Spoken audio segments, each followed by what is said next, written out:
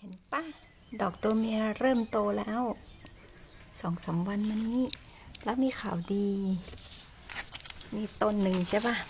อีกต้นหนึ่งนี่ไง ก็มีดอกตัวเมียเหมือนกัน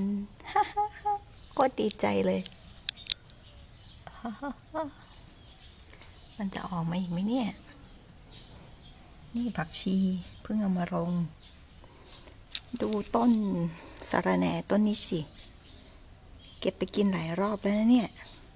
นี่ไปก็ใหญ่ขึ้นเรื่อยๆไอ้ฟักทองญี่ปุ่นต้นนี้มันเหี่ยวๆเพราะรากแก้วมันหัก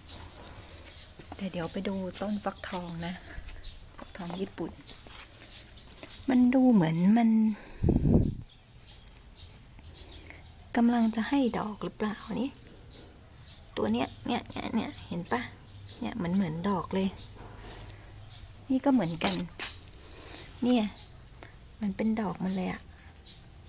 แต่ก็ไม่แน่ใจต้องรอดูอีกสองสามวันฮะฮะฮะดีใจมากครับ